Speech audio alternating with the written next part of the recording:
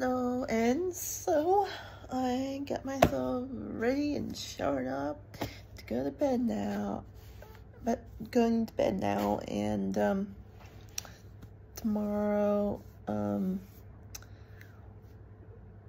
we're gonna have um, breakfast and then go see the um, Cure International Hospital.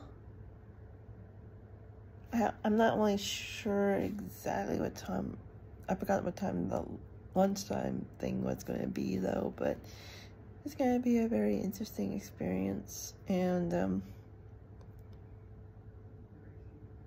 yeah, and uh, my hair's still wet because um, in the room we're staying in, the hair dryer wouldn't work, so my mom's getting a new one, so. Mm -hmm. Well, well, it's great. So.